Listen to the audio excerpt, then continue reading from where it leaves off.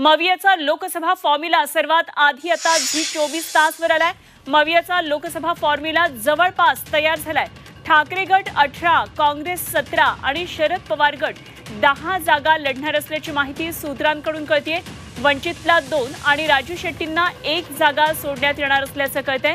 वंचितला अकोला आणि नांदेड अमरावती किंवा हिंगोली यापैकी एक जागा सोडण्यात येईल. तर राजू शेट्टींसाठी हातकणंगलेची जागा सोडणार असल्याची शक्यता आहे. पवार खरगे ठाकरेंमध्ये या संदर्भात आता चर्चा होणार आहे. मवियाचा फॉर्म्युला आता जवळपास तयार झालेला आहे आणि याच फॉर्म्युलावर शिक्कामोर्तब होण्याची शक्यता आहे. झी चोवीस तासवर सर्वात आधी आपण मवियाचा हा लोकसभेचा फॉर्म्युला पाहतोय. मवियाचा लोकसभा फॉर्म्युला आता जवळपास हा तयार आहे. ठाकरे गट अठरा जागांवर लोकसभा लढणारे काँग्रेस सतरा आणि शरद पवार दहा जागांवर ही निवडणूक लढणार असल्याचं कळतंय. एकदा पाहूया आपण हा formula Amrit noni ortho plus ये एक प्रूवन फॉर्मूला है. इसमें मौजूद नोनी फल के गुण और आयुर्वेदिक जड़ी बूटियाँ शरीर को ज़रूरी पोषक तत्व देने के साथ साथ हड्डियों और जोड़ों के घिसने उनमें होने वाले सूजन और दर्द को रोकने में मदद करता है। दर्द मुक्त जीवन के लिए Amrit noni ortho plus Uddhav Thackeray गट काँग्रेस आणि शरदचंद्र पवार गट असे तीन मवियाचे हे तीन पक्ष घटक आहेत. आणि अठरा जागा शिवसेना उद्धव ठाकरे गट तर काँग्रेस लढणार आहे. सतरा जागांवर आणि शरद पवार गटाकडे जाणार आहेत दहा जागा.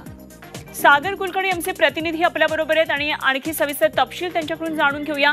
सागर मवियाचा फॉर्म्युला जवळपास आता निश्चित झाला याच फॉर्म्युलावर शिक्कामोर्तब होईल असं कळतंय. ठाकरे गट अठरा काँग्रेस सतरा शरद पवार गट दहा असा हा मुख्य फॉर्म्युला वंचितला दोन आणि शेट्टींना एक जागा असेल. काय नेमके तपशील?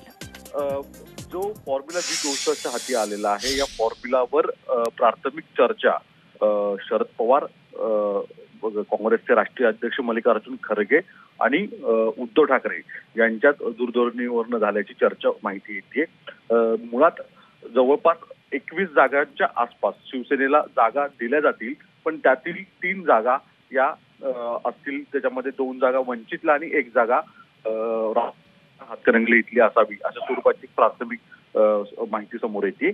आणि दुसरीकडे जो अठरा आणि दहा ह्या जागा इतर दोन मित्रपक्ष अर्थात काँग्रेस अठरा जागा आणि दहा जागा राष्ट्रवादीच्या असतील. मुळात जागांमध्ये काही इतर फेरबदल देखील होतील कारण की वंचितला कोणत्याही परिस्थितीत सोबत घ्यावं अशा स्वरूपाची आग्रही भूमिका शरद पवार आणि उद्धव ठाकरे यांची आहे.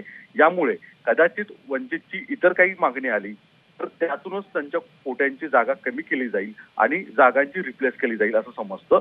या प्राथमिक आकडेवारींवर दिल्लीमध्ये प्राथमिक चर्चा देखील झाली आहे. पुढील दोन ते तीन दिवसामध्ये एक मुख्यतः एक बैठक होईल आणि या बैठकीमध्ये याबाबत एक फाउंडेशन लेवलची माहिती समोर होईल आणि अधिकृत घोषणा होईल अशी देखील माहिती समजते. ठीक धन्यवाद दिलेल्या या सगळ्या सविस्तर माहितीसाठी. सागर जरूर या सर्व घडामोडींवर लक्ष ठेवून राहा. वेळोवेळी आपल्याकडून आणखी तपशील जाणून घेत राहू. सागर कुलकर्णी आमचे प्रतिनिधी आपल्याबरोबर होते तर मवियाचा फॉर्म्युला आता जवळपास निश्चित झालेला आहे.